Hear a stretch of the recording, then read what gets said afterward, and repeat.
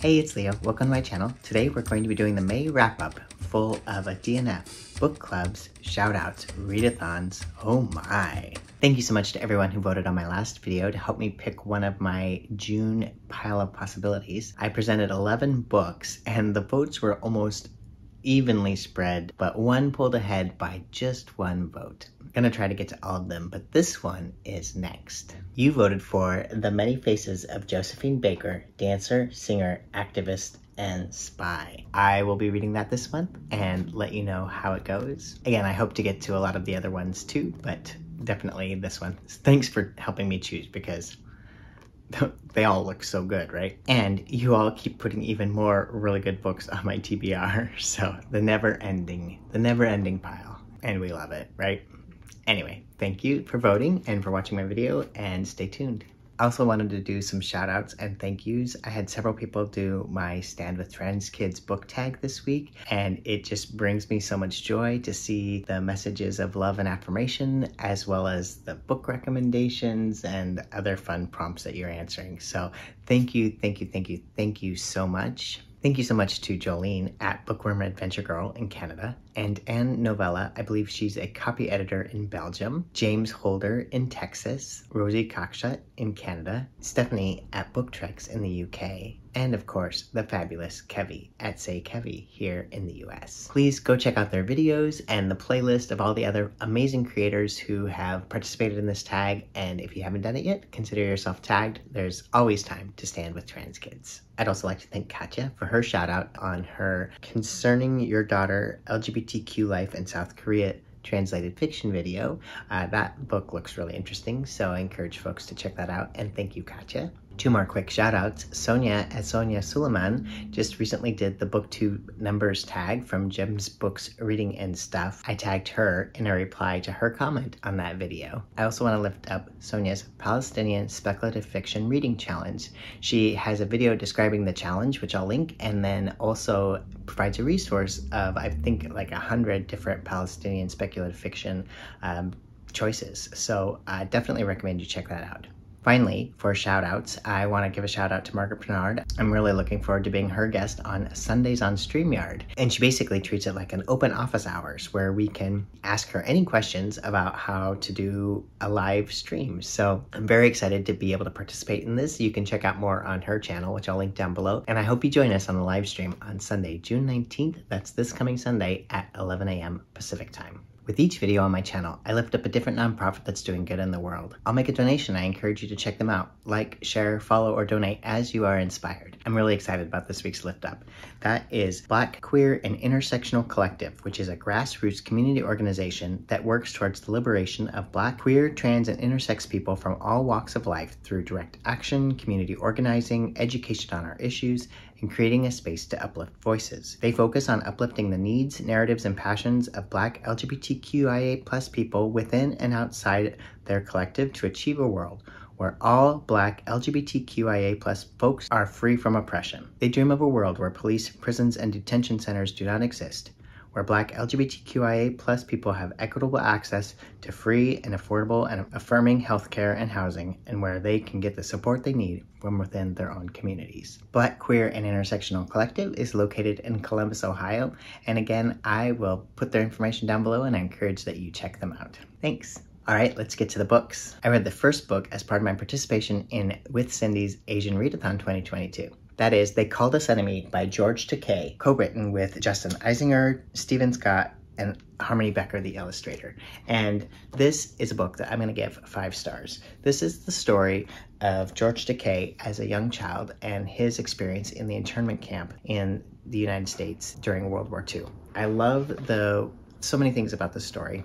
First of all, this is a story that needs to be told. Harmony Becker, the illustrator, communicates emotions well in the faces, uh, setting, all of that. It's just a really great job. I also appreciated the framing of the story. It talks about George Takei introduces him as, as an adult uh, going to the FDR house to speak to the descendants of Franklin Delano Roosevelt, who is the president who signed the internment order, and gives some of the history, some of the social setting of what happened um, leading up to that order, and then also shares the story of his childhood in the internment camp. It is beautiful and powerful. It depicts really well the family dynamics and the camp dynamics. I think this would be developmentally appropriate for a lot of ages. I think it depicts the reality of the camps without being maybe scary. Uh, as a non-educator or parent, I, I would be hesitant to exactly classify which age range this would be good for, but I just found it to be a really worthwhile book. I'm glad that I have it now in my library, and I encourage you to check it out. I give it five stars. The next book I read for the Terry Pratchett read along with, with Katja, Rosie Cockshutt, Scott at Gunpowder Fiction and Plot, and C'est Kevvie. We read this month, or last month in May, Sourcery, which is book five of the Discworld series. I enjoyed this book. It was definitely very silly. This is the story of Rincewind, who's a really bad wizard, really has just very little wizarding skills, and probably negative wizarding skills. By happenstance of being in a pub drinking and missing some of the other action that happens at the beginning, he then needs to take some pretty heroic actions to save the world of, of Discworld. So what happens is there's this sorcerer who comes and introduces this deeper magic and conflicts ensue and danger unfolds and threat to the entire world is occurring, and Rincewind has to go and take part in helping save the world with his luggage, which is sentient but doesn't speak. The luggage was actually my favorite character. As you can see from the cover of this very sexualized edition, there's also another uh, character, Conina. She is a barbarian and she is helping Rincewind on his adventure. And they meet some other folks too. I'm gonna give this one four stars. It was a good fun read, but it wasn't my favorite Pratchett. Sometimes it felt like a little bit over the top, but I definitely enjoyed it. Thank you, Katja and Scott and Kevvie and Rosie for leading the readathon. Always enjoying it and glad I read it. Speaking of sentient objects, I felt that I needed to bring Boe back over. Uh, he's been sitting over behind the camera, not running things, but anyhow. Uh, but now he's back over on this side of the camera and uh, checking out things, wanting to say hi. And also, I got a couple more plants, so uh, that's been fun. And I haven't killed any yet. Knock on wood. The next work I read was Chicago Beauty, The Wilhelmina Murders, and I listened to this on YouTube audio read by the author Kevvie of our own C'est Kevvie. Chicago Beauty is a short story about Patrick, the assistant to Detective Wilhelmina Devereaux, a fat disabled trans woman who is a detective in the Chicago area. Before working with Wilhelmina, Patrick worked in a beauty supply store and he goes back to visit there and a murder happens. He then communicates this back to Wilhelmina back in her office, and then you'll have to go check it out and see. So I linked that down below. I'm gonna give that five stars. It was a really great short story. I appreciated the characterization, the setting, the plot, the clues. I, I enjoyed the experience, so check it out. Okay, so then I participated in the readathon for May of the Moderns. I was able to get two books written, written. I wish. I was able to get two books read for this challenge. This is Margaret Bernard's challenge to read books written between 1901 and 1945. So the first book I read was Zora Neale Hurston's Their Eyes Were Watching God. I read this for the prompt Sex, a book that deals with a changing attitude towards sex. And I also read this as part of the Black Classics Book Club, which if you haven't participated yet or checked them out, please uh, follow the links below or the cards above and go check out Brie at Locked Booktition and her Black Classics Book Club. This month in her discussion of this book, she invited Erica from The Broken Spine and the conversation was really lovely per usual. Their Eyes Were Watching God was written in 1937 and it's about Janie, a black woman in the 30s. She has a series of adventures. As life unfolds for her, she first is married off by her grandmother to one man. He's not great.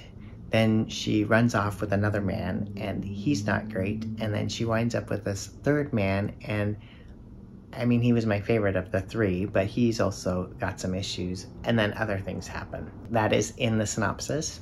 I found this to be a really powerful story of a woman finding her own voice and sense of autonomy so much of her life was experienced lived through the choices of others or through the constraints of relationships with the men she was with. So I found it to be really powerful. I listened to it on audio uh, as read by Ruby Dee, recommended by Erica at the Broken Spine. And uh, Ruby Dee did an amazing job on audio. And then I also wanted to have the hardcover, or not hardcover, the paperback to, to flag up and, and so forth with meaningful quotes. I'll definitely be rereading this and want it for my library and I did give it five stars. There's so much that I want to say about this, but Instead, I'm going to refer you to the conversation between Bree and Erica, and then us in the chat on the Black Classics Book Club. I think that Zora Neale Hurston is an incredible author, and I definitely look forward to reading more of her works as well. Okay, for prompt two in the May of the Moderns readathon, which is the Timeless prompt, a black classic that discusses race and class in ways that are still relevant in today's modern world, I actually had put on my TBR based on on a video that Erica at the Broken Spine had created uh, like a year ago. And that is The Souls of Black Folk by W.E.B. Du Bois. I listened to this on audio. So this version here, the paperback also includes The Talented Tenth and The Souls of White Folk, which I did not get to in May, uh, but we'll look forward to reading them and, and more of W.E.B. Du Bois. This was written in 1903 and is so powerful. One of the things that I appreciate about having read this is that also this work is referenced in many other works, and so I, I feel like I have some of that foundational piece that I've been missing. This nonfiction book of essays that was published in 1903 became hugely popular, and people from all over the country were writing into Du Bois, and he was responding to each of them. And it really was powerful in a lot of ways. One of the things that it introduced was the concept of dual consciousness, in which a black person in the United States is both black and American, and that through there's a veil through which white people do not see the experiences of the black person. I'm not describing that very well, but I would definitely recommend you check out a couple of videos that I'm going to link down below, which uh, Erica at the Broken Spine and the Black Curriculum talk about. There's some really important historical reflection in here on the post-Civil War Freedmen's Bureau and a lot of the problems that were facing that effort and a, a, deep analysis of that. There is a really moving essay about the loss of his first son because he could not find a doctor who would be willing to see a black patient. There were incredible stories of poverty and racism and also story of greed of landlords and so forth. Definitely recommend. I'm also going to link to a video down below called Booking Black with Gary Flowers, which is on the Gary Flowers TV YouTube channel. In that video, Gary Flowers and Dr. Corey Walker have a discussion about the context of this book and historical elements as well as its reception. So definitely recommend you check that out. This is another book that I wish that I were in a course so that I could be asking questions from a professor and hearing the class discussion on and so forth. Um, but definitely recommend that you check this out. I listened to this on audio as well. And one of the things that I wanted to mention about this book is that in this version, which is recently published uh, and has the introduction by Ibram X. Kendi, as well as the audio version that I listened to, there were about 12 mentions of Jewish people that felt pretty anti Semitic. And so I actually did some investigation on this, and I found that in the 50th anniversary edition, Du Bois had actually changed those passages and wrote a paragraph that wound up not getting published about how he realized that that language was not appropriate and could be improved upon and refine the concepts that he was trying to communicate in those passages, which I thought was really brilliant. And then I was disappointed that this version did not have those corrections. So there was also an article on JSTOR, which I don't have access to, it's an academic journal, by Gary Bornstein called W.E.B. Du Bois and the Jews, Ethics, Editing, and the Souls of Black Folk, where he talks about that editing choice that Du Bois had made at, the 50th anniversary and some of his learning around that. So from the abstract, that's what I was able to gather. I found that to be a really powerful example of where we make statements that maybe we don't get things right and then we learn and we reflect and we go back and we change and update our previous statements to reflect our new um, more nuanced or more appropriate language and understanding. So i'm really glad that du bois did that. I just wish that had uh, been updated in the uh, republication of them I'm just really glad I read this book. Dr. Corey Walker talks about how he reads this book every year. He, he's also a professor, so he's reading it with students, but I, I thought that was really great example of how, how powerful and important this book has been in history. I recommend it. I give it five stars, and I would love to know your thoughts on this book. Okay, I also DNF'd a book. This was for my booktube spin. This was number 17, I believe, on booktube spin number 6, Open Water by Caleb Azumah Nelson much beloved by many, recommended by so many folks. And I got to about page 56 and I just, I put it down. A couple things I wanted to mention. First, it is written in second person, which I didn't love, but I think it would have been okay. The, I mean, it, the writing is very beautiful. It definitely is an emotionally intense story and it draws you into that. The settings and the characters are just very well done really for me the reason that I DNF'd it is because it evoked evoked things too well emotionally. And there were some particular um, scenarios in this book which struck a little bit too close to home with some painful experiences that I've had. And I was reading it and I thought you know I just I don't need to put myself through that if it's uh, painful. So I chose to DNF it. The experiences that it was evoking, maybe one day I'll not care and I'll go back and reread this. But at present time, I'm just gonna put that over there. But I'd love to know about books that you've DNF'd. And I know that I'm definitely pro DNFer and even if it's popular, I'm not going to suffer through it um, for a variety of reasons. I'll DNF there where it like struck too close to home personally. I'll DNF if I'm just lose interest or don't care about what's happening to the characters. I think there are several of us that are on Team DNF, and I am one of them. So, anyway, that's all I'll say there. there are four other books that I read in May, but I'm going to refer you to my May Queer Shoutout book recommendations video or my mid-month wrap-up video to see more about those books. Thanks for watching. I look forward to continuing the conversation in the comments below, and I'm sending you wishes of hope, love, courage, and joy. Bye.